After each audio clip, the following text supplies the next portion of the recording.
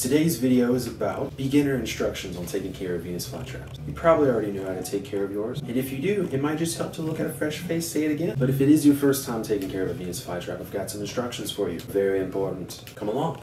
Rule number one is the water. Venus flytraps can only have distilled water. If you give them tap water, you're going to kill them. Pretty sure you don't want to kill your little babies. Distilled water and reverse osmosis water, also referred to as RO water, or even rainwater. I used to take rainwater for my plants. Now you can grow them in 100% sphagnum peat moss, or even 100% long fiber dead sphagnum, which is just sphagnum peat moss before it's had years of partying to turn it into peat. But I like to add sandy love into my mixes. I'm talking 20 mesh silica sand, or super nice aquarium sand. Super natural. You can see the grain right there. It's not too tiny. You don't want sand that's too fine because then it'll act more like clay. And what I mean by that is water won't drain through the soil as quickly as it would with larger grains like this. If you don't want to use sand, you can also use perlite. I've got my opinions about perlite though, and I've made a video about that. The video's title is Sand is good for your plants, or Sand does good for your Venus flytrap, something like that. But yeah, my preferred method is sand because that's how it is in nature. But in a crunch, you could use perlite. It's just not as pretty. The sand and perlite in your peat allows your plant's roots to breathe. Venus flytraps like a lot of water, but they also like to breathe, which can sound contradictory, but I don't ask questions. Now with watering, you might come up with your own method and your own routines. For me, I personally like to flood the H out of my plants and let the water gradually diminish over time so that they can experience the extremes. They can experience flooding and then somewhat of a little tiny drought. I've found, and a lot of other growers have found, that if you allow your plants to experience a little bit of dryness, promotes very strong roots. I used to grow my plants in these really big McDonald's styrofoam cups, and when I practiced letting them dry out a little bit, I learned that it stimulated their roots. And at the bottom of this really tall cup, I'd find all of these healthy, thick roots hanging out. When people think that Venus flytraps don't have very strong roots, that's not the case. It depends on the water level. Very tiny roots for a very high, consistent water level. Very long, strong roots for a water level that fluctuates or that is very low. The last thing Venus flytraps need is a lot of light. Now, I've mentioned before in another video that there will definitely be nurseries or even stores online sometimes that will give you incorrect instructions. And by incorrect instructions, I mean they'll tell you that these plants are partial sun plants. No, no, no, no, no, no, no. These plants want full sun, almost like a succulent or a cactus. I'm telling you, you won't see the beauty that your plants can be unless you find a spot for them that can give them at least six hours of full direct sun a day. But of course, I grow mine indoors, so I'm dealing with a different setup. I figured out how to give them their sun needs using LED shop lights. Note, I do not use grow lights. These are not plant grow lights. I also have a video for that one. And by that one, I mean that tip on my lighting. Sphagnum moss. Now you know how to grow really strong Venus flytraps. It's so simple that that's how people kill them. These plants have really simple needs, but you just check the boxes and before you know it, they're just glowing.